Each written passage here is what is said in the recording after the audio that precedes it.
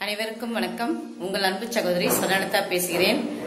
உடம்புடை முன்னம் இழுக்கன்று இருந்தேன். உடம்பனுக்குள்ளே ஒரு பொருள் கண்டேன். உடம்புனுக்குள்ளே உத்தமன் கோவில் கொண்டான் என்று உடம்புனை யான் இருந்து ஓம்புகின்றேனே. திருமூலர் எழுதிய திருமந்திரம். இன்று நாம் காணவிருப்பது சூரிய நமஸ்காரம். இந்த சூரிய நமஸ்காரம் என்பது பன்னெண்டு நிலைகளை கொண்டது. எல்லாருக்கும் ஒரு சந்தேகம் இருக்கும். இந்த சூரிய நமஸ்காரம்ங்கிறது வந்து காலையில தான் பண்ணணுமா? நல்ல மொட்டை மாடியில அப்படியே சூரியனுக்கு கீழே அந்த வெளிச்சத்துல அப்படிதான் பண்ணா இதுக்கான பலன் கிடைக்குமா அப்படிங்கிற சந்தேகம் அனைவருக்கும் இருக்கும். அப்படி பார்த்தோம்னா வந்து எல்லாருக்கும் அந்த மாதிரி வாய்ப்புகள் கிடைக்காது. வாய்ப்பு இருக்கிறவங்க அதை பயன்படுத்தி கொள்ளலாம். காலையில ஒரு ஏழு மணிக்குள்ள நீங்க வந்து மேல மாடியில நல்ல சு- காற்று நல்ல சுவா நல்ல சுவாசத்தோட நல்லா பண்ணிக்க. இயற்கையான காற்றை சுவாசிச்சு பண்ணலாம். அந்த மாதிரி வாய்ப்பு இல்லாதவங்க வீட்டிலேயே பண்ணலாம். ஒன்றும் பிரச்சனை இல்லை. எப்ப பண்ணீங்கனாலும் வயிறு வந்து காலியா இருக்கணும். அந்த மாதிரி ஒன்று காலை உணவிற்கு முன் பண்ணலாம். இல்லைன்னா உணவு எடுத்துக்கிட்டிங்கன்னா மிதமான உணவாக இருந்தால் ஒரு ஒரு மணி நேரத்துக்கு பிறகு செய்யலாம். இப்போ லஞ்ச் மாதிரிலாம் நம்ம சாப்பிட்டோம்னா அது கொஞ்சம் ஹெவியாக இருக்கும். அந்த மாதிரி இருந்துச்சுன்னா ஒரு ரெண்டு ரெண்டரை மணி நேரம் ஆகணும். சாயந்தரம் தான் நம்ம செய்ய முடியும்.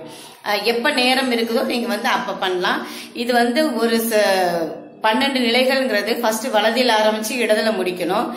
ரெ- இரண்டாவது நிலை இடதில் ஆரம்பிச்சு வலதில் முடிக்கணும். இப்படி ப- ரெ- சைடும் பண்ணோம்னா ஒரு சர்க்கிள் என்று பெயர். இதற்கு நீங்க வந்து ஒரு மூணிலிருந்து ஒரு ஆறு சர்க்கிள் வரை பண்ணலாம். அதாவது ஆறு முறை அல்லது பன்னெண்டு முறை. பண்ணீங்கன்னா வந்து உடம்புல எந்த பிரச்சனையுமே வராது. அத்தனை அவயங்களுக்கும் எழுபத்தி ரெண்டாயிரம் நாடி நரம்புகளுக்கும் வந்து போதுமான ரத்த ஓட்டம் வெப்ப ஓட்டம் காற்றோட்டம் எல்லாமே சீரா இருக்கும். அப்ப வந்து உடம்புல வந்து நரம்பு தளர்ச்சி வயதானாலும் நரம்பு தளர்ச்சியோ இல்ல முகத்தில் சுருக்கங்களோ எதுவுமே வந்து நமக்கு தெரியாது. இதனாலதான் சொன்னாங்க கண்கட்ட பின் சூரிய நமஸ்காரம் சொல்லிட்டு. கண்கட்ட பின் சூரிய நமஸ்காரம் நாற்பது வயசுக்கு மேலதான் வந்து நமக்கு இந்த கண்ணுல வந்து கண் பார்வை குறைபாடு இருக்கு. ஆனா இன்னைக்கு அப்படி இல்லைங்க. ஒரு வயசு ரெண்டு வயசு குழந்தை கூட கண்ணாடி போடுறாங்க.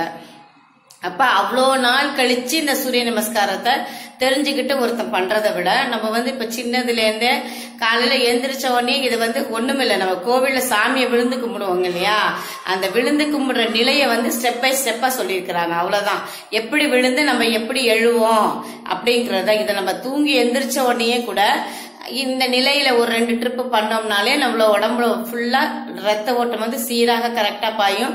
ஆனா நீங்க என்னைக்கெல்லாம் சூரிய நமஸ்காரம் செய்றீங்களோ அன்னைக்கு நீங்க எவ்வளவு வேலை செஞ்சீங்கனாலும் காலையில இருந்து மாலை வரை எவ்வளவு வேலை செஞ்சாலும் உங்களோட உடம்புல வந்து ஒரு டயர்ட்னஸே இல்லாம மிகவும் புத்துணர்ச்சியா ரொம்ப நல்லா ஃபீல் பண்ணுவீங்க. உடம்பு கரெக்டாக மெயின்டைன் பண்ண முடியும். நாற்பது வயசுக்கு மேல ஆனாலும் பயங்கர ஆக்டிவாக இருப்பீங்க. முகத்தில் சுருக்கங்கள் இதெல்லாம் எதுவும் வராமல் எப்படி இருந்தாலும் எந்த வயசுல பண்ணீங்களும் ஒரு இருபது வயசு குறைவா உங்களை காமிக்கும். இன்னைக்கு வந்து சூரிய நமஸ்காரம் பண்ணலாம். நான் வந்து ஒரு ஒரு டைம் மட்டும்தான் பண்ணி காமிச்சிருக்கேன். ஒரு சர்க்கிள் தான் செஞ்சு காமிச்சிருக்கேன். நீங்க வந்து இதை விடாம நீங்க செஞ்சு பாருங்க. யோகாசனம் செய்வதற்கு முன்னாடி இந்த சூரிய நமஸ்காரம் மூன்று முதல் ஆறு சர்க்கிள் நம்ம பண்ணோம்னா எந்த யோகாவுமே நமக்கு செய்ய மிக எளிதாக வரும். செய்து பாருங்க. செய்துட்டு உங்களோட கமெண்ட்ஸை வந்து இதுல போடுங்க. சப்ஸ்கிரைப் பண்ணுங்க. லைக் பண்ணுங்க. ஷேர் பண்ணுங்க. பெல் ஐக்கான் கிளிக் பண்ணுங்க. தினமும் வந்து ஏதாச்சும் ஒரு பதிவு வரும். ஒன்று யோகா பற்றிய பதிவோ இல்ல உணவு குறிப்புகள் பற்றிய பதிவோ அல்லது திருமுறை சம்பந்தப்பட்ட பதிவு பக்தி சம்பந்தப்பட்ட பதிவுகள் வரும். நவராத்திரியிலிருந்து சுவாமி பாடல்களும் ப- பதிவு செய்யலாம் என்று இருக்கிறேன். உங்களுடைய இதுவரை நீங்கள் கொடுத்த அனை அனைவரும் கொடுத்த ஆதரவுக்கு மிக்க நன்றி. மகிழ்வுத்துவாள் என்றும் அன்புடன் உங்கள் அன்பு சகோதரி. வணக்கம். சூரிய நமஸ்காரம். முதலில் வந்து நமஸ்காரம். நான் இப்படி சைடில் உங்களுக்கு செஞ்சு காமிக்கிறேன் எப்படி பண்ணணும்னு சொல்லிட்டு. ஃபர்ஸ்ட் வந்து முதல் இது. பேக் பெண்ட் இதுக்கு பேர் வந்து ஹஸ்த உட்டனாசனம். அப்புறம் அப்படியே மெதுவா முன்னாடி கிட்ட வாங்க இது பாதஹஸ்தாசனம்.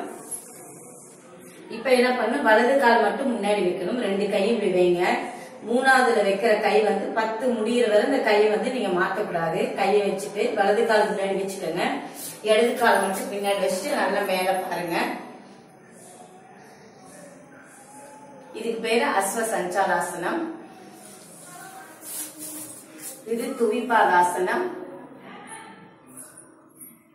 நேரா நின்னீங்கன்னா மேல ஒரு பாலை வச்சீங்கன்னா அப்படியே கீழே போகணும். இந்த மாதிரி இப்படி வச்சுட்டு நல்லா நேரா பாருங்க. அப்புறம் கை இப்படி வச்சுக்கோங்க. கால் விரல பிரஸ் பண்ணிட்டு முட்டியை கீழே வச்சுக்கோங்க. அப்படியே உடம்பு மட்டும் பின்னோக்கி கூடாது தலையை கீழே வைங்க. இதுக்கு பேர் மகாமுத்ரா. அடுத்தது அப்படியே முன்னாடி படுங்க.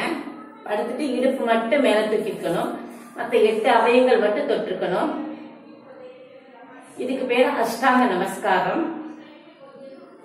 அடுத்தது அப்படியே தலையை மட்டும் மேல தூக்குங்க புஜங்காசனம்.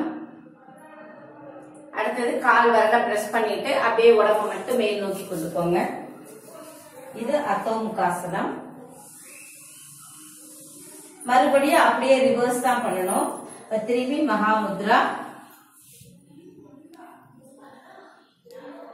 ஃபர்ஸ்ட் வலது கால் வச்சோம். இப்ப இடது கால் வைக்கணும். அஸ்வ சஞ்சாலாசனம் பாதஹஸ்தாசனம் ஹஸ்த உட்டனாசனம் நமஸ்காரம். இப்ப வந்து நான் வலது பக்கம் செஞ்சு காமிச்சிருக்கேன். இதே மாதிரி இப்ப இடது பக்கம் செய்யணும். இது நான் செய்யற பாருங்க. நமஸ்காரம். இது எண்ணிக்கையில வராது.